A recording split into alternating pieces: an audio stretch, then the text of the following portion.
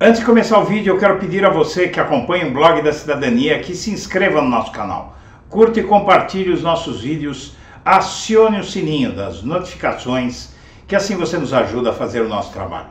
E vamos ao vídeo.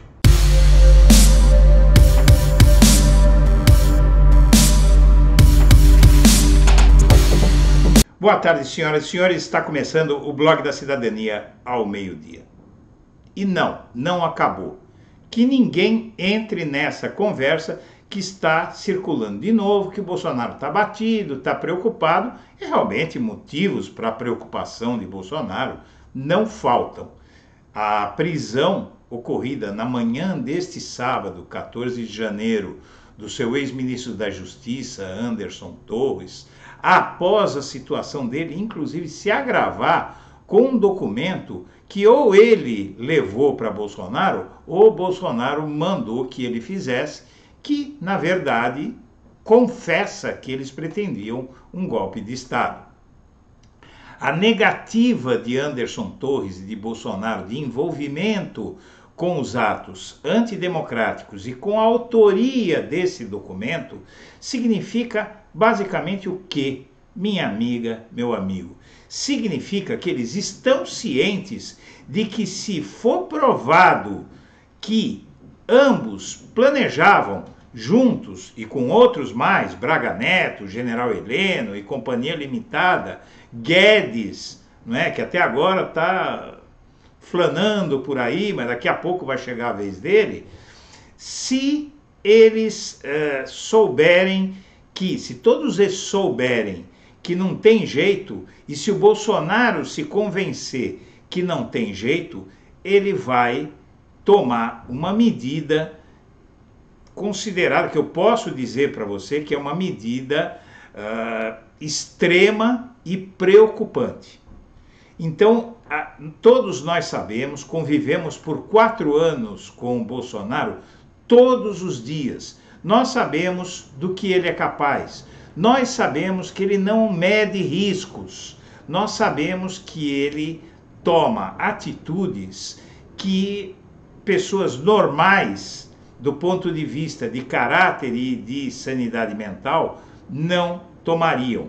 E Bolsonaro, que ninguém duvide que ele está disposto a tentar golpe atrás de golpe ele se mandou para os Estados Unidos sabendo do que aconteceria no dia 8. Ele já sabia. Pouco mais de uma, quase cerca de 10 dias após ele viajar, acontece aquilo e já há, inclusive, vários indícios de que ele estava sabendo o que ia acontecer no Brasil quando fugiu. Bolsonaro cogita fugir mas os Estados Unidos já sinalizaram que extradição dele é só pedir. Então, é nesse momento que ele toma uma decisão que foi, segundo a denúncia que eu vou relatar aqui, ela lhe foi apresentada, uma solução que lhe foi apresentada. E qual é a solução? Bolsonaro não pode fugir. Porque se ele não vai conseguir deixar os Estados Unidos para qualquer lugar. Os norte-americanos, inclusive, estão querendo, o governo Biden está querendo auxiliar nas investigações contra ele. Então, que ninguém tenha dúvida de que o Bolsonaro, nos Estados Unidos, está vigiado 24 horas por dia. Não só por brasileiros, como por americanos. Pelo governo americano. FBI, CIA, Bolsonaro está sendo monitorado. Ele não vai conseguir fugir dos Estados Unidos. Muito bem. E ele não vai conseguir ficar nos Estados Unidos se o Brasil pedir a sua extradição. Note-se que o indicativo disso é o fato de Anderson Torres ter voltado rapidinho. O Flávio Dino, ministro da Justiça, foi lá, engrossou a voz. O Dino picou a mula, botou a mochilinha nas costas, foi ao aeroporto de Miami pegar a ponte aérea Miami-Papuda, tá certo? E veio bonitinho para o Brasil, inclusive escondendo o nome ao fazer o embarque, não é? Não colocou Torres, ele colocou uma parte do nome do sobrenome dele, até porque em outros países uh, o último sobrenome que nós chamamos aqui, não é usado. Aqui nos países latinos, por exemplo, se, se o sujeito tem dois sobrenomes, muitas vezes usa o do meio. Tá? Então, o, o Bolsonaro vendo que o ministro, o ex-ministro dele, está sendo preso e voltou para o Brasil, mesmo sabendo que seria preso, é porque o Bolsonaro sabe que o Anderson Torres sabe que se ele não viesse seria deportado. E o Flávio Dino já mostrou as cartas. Quando o Flávio Dino diz: "Eu vou pedir a tua deportação", é porque o Flávio Dino sabe que essa deportação seria atendida. E da forma como o Dino falou, em tom inclusive de ameaça, é claro que tem que ameaçar mesmo. Não é feio fazer ameaça contra alguém que cometeu um crime, não é? Então o Flávio Dino ameaçou. Volta, senão você vai ser extraditado. Aonde eu quero chegar com isso? Que o Bolsonaro sabe que ele vai ser extraditado. Então vamos ver a situação de Bolsonaro.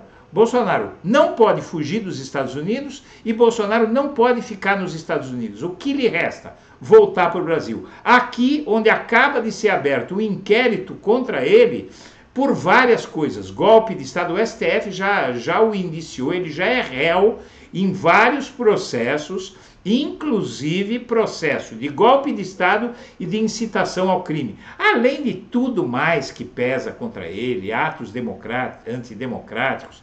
Então a situação do Bolsonaro, Bolsonaro fora da cadeia, é praticamente impossível, nós já dissemos aqui há poucos dias. É difícil. O Bolsonaro, o, o STF já decidiu prender o Bolsonaro. Tá, minha amiga, meu amigo? O STF já decidiu prender, como nós dissemos em live aqui essa semana. Eu disse que o Xandão decidiu prender, o Xandão vai prender. E o Bolsonaro sabe disso. Então, ele é, recebeu a sugestão, segundo essa, essa reportagem que eu vou lhe mostrar, ele já decidiu voltar, ele já decidiu, não, ele já decidiu é, aceitar a sugestão e pensar sobre ela de voltar para o Brasil e tentar de novo um golpe de Estado aqui no país. É isso mesmo que você está ouvindo. O Bolsonaro cogita dar um golpe de Estado aqui no Brasil. E isso que ele vai fazer ainda está em análise, segundo essa reportagem. Porém, o Bolsonaro não tem outro jeito. É o único jeito de ele ficar fora da cadeia, caso ele não seja preso no aeroporto. Então, é muito bom que as autoridades brasileiras saibam que o Bolsonaro aqui no Brasil, solto, ele vai tentar um golpe de Estado. E o que é que é indicativo disso? Que já existe uma movimentação para fazer uma mega recepção para ele com milhares e milhares de pessoas. Você imagina o que é toda essa horda bolsonarista? Vamos supor que ele vá para Brasília, que está cheio de apoiador do Bolsonaro em Brasília, em São Paulo, no Paraná. Alguém sabe para qual aeroporto ele vai? Ele vai para o de Brasília? Não, porque ele não está com ordem de prisão. Ele não pelo menos por enquanto. Ele não vai viajar com ordem de prisão. Então ele pode vir para o Brasil para o aeroporto que ele quiser.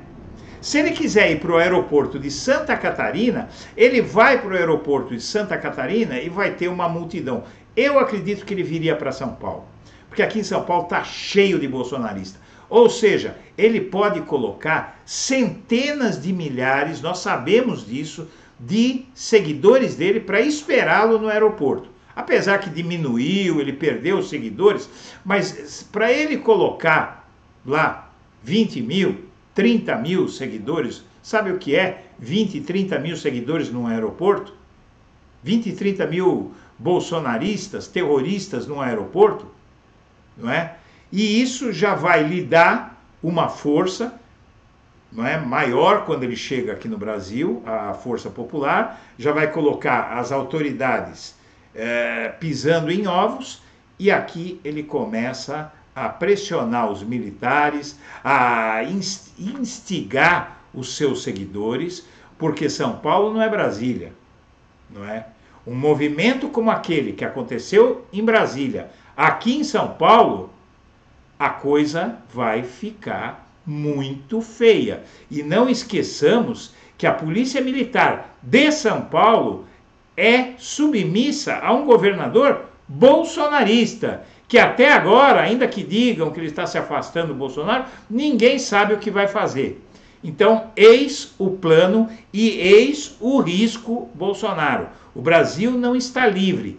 Uma pesquisa feita pelo é, Instituto, um instituto aí contratado pelo portal Metrópolis, mostra que 63 por 65% dos brasileiros acham que os atos golpistas vão continuar. E eu me somo a esses 65%.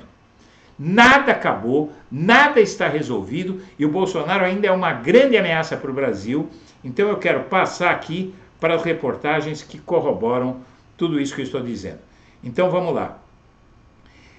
Nós temos aqui o, o estado de Minas dizendo que 55% apontam para responsabilidade de Bolsonaro em ataques golpistas.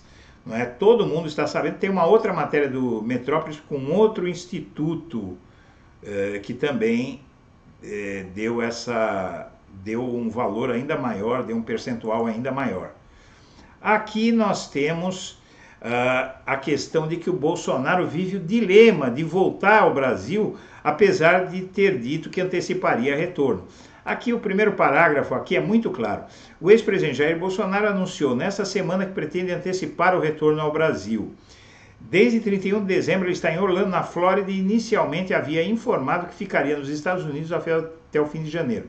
Apesar da declaração, sua volta ao país ainda é incerta. Há riscos políticos e jurídicos para o ex-presidente, tanto no retorno quanto na sua permanência em território americano. Alguns familiares querem que Bolsonaro continue no exterior, mas ele sabe que pode ser deportado. Nos Estados Unidos, Bolsonaro diz que pretende antecipar a volta ao Brasil. Uh, é uma repetição da matéria que colocaram aqui para mim. Uh, e, na verdade, é, tem que uh, Bolsonaro tem que voltar ao Brasil, queira ou não, diz Renan Calheiros. Dor de barriga fake não é mais desculpa para o valentão das redes, disse o senador do MDB. Depois de pedir formalmente ao STF que adote providências contra o ex-presidente, Bolsonaro, em virtude dos ataques terroristas realizados por apoiadores dele na sede dos poderes da República, Renan voltou ao assunto. E basicamente o que ele está dizendo aqui é o seguinte: é que uh, se o Bolsonaro não voltar, ele vai ser extraditado. E ele não vai conseguir fugir. Ele não diz isso claramente, mas ele insinua na matéria. E o PL já reforçou a equipe jurídica de Bolsonaro para lidar com contra-ataque após os atos golpistas. E, e, na verdade, a parte bolsonarista do PL, porque uma parte do PL já quer pular fora dele, mas o controle ainda está na mão do Valdemar Costa Neto, e o Valdemar ainda ele tem rabo preso com o Bolsonaro, então o PL vai tratar de dar um respaldo para tentar manter o Bolsonaro fora da cadeia tempo suficiente para ele instigar um golpe aqui no Brasil. Mas o X da questão está nesta matéria aqui, do portal Metrópolis. Bolsonaro é aconselhado a voltar ao Brasil como um exilado político. Veja só. Aliado sugeriu ao ex-presidente retornar ao Brasil nos braços do povo como reação ao cerco que está se fechando. Esses aliados sabem muito bem, minha amiga, meu amigo, que ter muita gente em volta do Bolsonaro pedindo para ele não ser preso, revoltadas, eh, levantando cartazes, faixas, gritando, slogans, tudo isso não vai mudar nada. Uh, houve todo esse movimento em torno do Lula e não, resolve, e não resolveu coisa alguma. Para buscar fugir do cerco que está se fechando, Bolsonaro foi aconselhado a retornar ao Brasil em grande estilo, como se fosse um daqueles exilados políticos na abertura democrática do país. E aí disseram para ele o seguinte: ah, essa fonte desse portal. Aconselhei a ele voltar em grande estilo. Está provado e demonstrado que o povo não o abandonou. E em boa parte isso é verdade. Não é 100% verdade, mas em boa parte é verdade. Temos certeza que ele retornará no braço das pessoas, como aquelas imagens dos exilados políticos voltando ao Brasil depois do exílio. Só que bem mais gente que aquilo. Isso é uma estultice, é uma cretinice, porque ele não foi exilado político, ele se exilou, não é? é então, é, eles disseram, por último, sabe qual foi a resposta de Bolsonaro? Ficou de pensar. Bolsonaro quer primeiro ver o que ocorrerá com Anderson Torres, que deverá retornar ao Brasil nesse final de semana. Agora ele já sabe o que houve com Anderson Torres, foi preso. É isso que vai haver. Eu não tenho que ver o que vai acontecer. Ah, ele vai ficar preso? Vai ficar preso. Claro que vai ficar preso. O Anderson Torres não só vai ficar preso, como ele vai acabar tendo que fazer uma delação premiada tá? para ficar fora da cadeia. A fórmula da Lava Jato, em certa medida, vai ser usada, só que contra um criminoso perigoso, que solto Anderson Torres e Bolsonaro são ameaças à democracia. Sabem qual é o argumento? Eu antecipo aqui para você, me cobre amanhã. Tá? O argumento que o Bolsonaro vai usar é o seguinte: que ele uh, não pode ficar preso porque é inocente e ele aqui no Brasil, uh, fazendo isso, ele vai levantar as multidões para defendê-lo.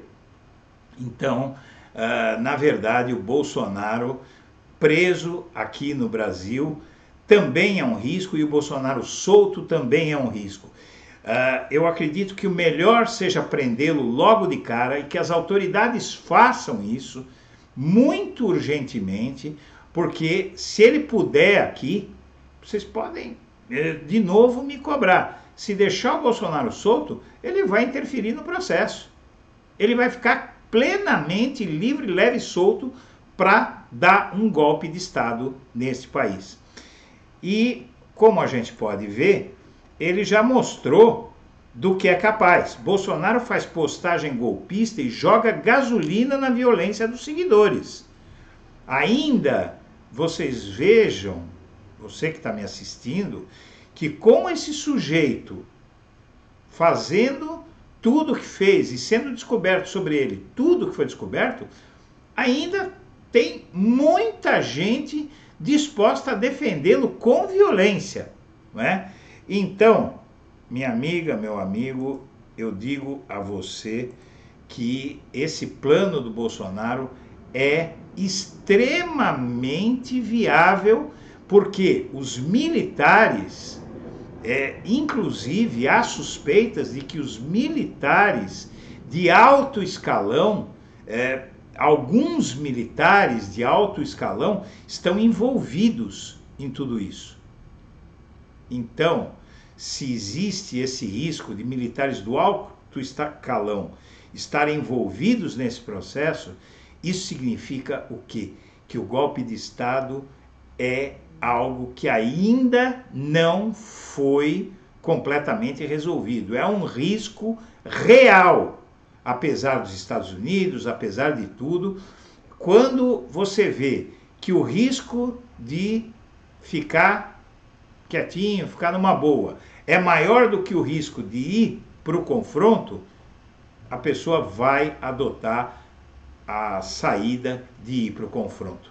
Então, minha amiga, meu amigo, é, é importante que seja dito isso claramente, que todos se conscientizem disso o Bolsonaro ainda é um risco.